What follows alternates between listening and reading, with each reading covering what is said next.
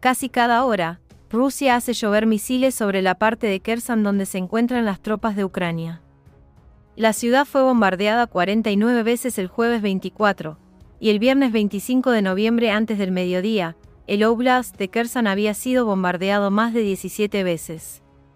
Los intensos ataques se producen a dos semanas desde que Rusia se retiró de la ciudad, y al mismo tiempo de que Moscú intensificara el bombardeo de la red eléctrica de Ucrania, y otra infraestructura militar crítica en un intento por apretar aún más la soga en Kiev.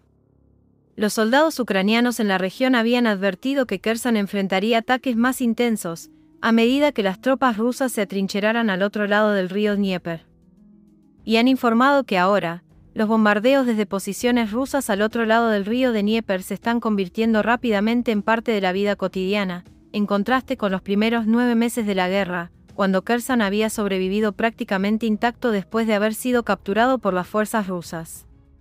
Los reportes en el frente en Kherson indican que un aluvión de misiles, artillería y drones rusos llovieron sobre la parte de Kherson de la que las fuerzas rusas se retiraron a principio de noviembre.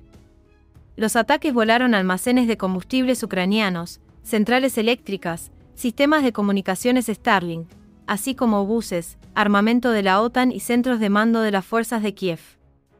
El presidente de Ucrania, Vladimir Zelensky, arremetió contra Moscú y comparó los ataques con ataques terroristas. Dijo, casi cada hora, recibo informes de ataques de los ocupantes en Kherson y otras comunidades de la región.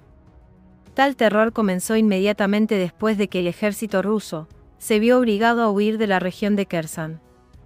El presidente ucraniano subrayó que esta es la venganza de aquellos que perdieron. No saben cómo pelear lo único que aún pueden hacer es aterrorizar. Ya sea terror energético, o terror de artillería, o terror de misiles, eso es todo a lo que Rusia se ha rebajado. Las autoridades de Ucrania estiman que alrededor del 50% de las instalaciones energéticas de Ucrania han resultado dañadas en los recientes ataques. Las fuerzas rusas también atacaron las comunidades de Selenivka, Chornovaivka y Stepanivka, que se encuentran en la orilla occidental del río de Dnieper.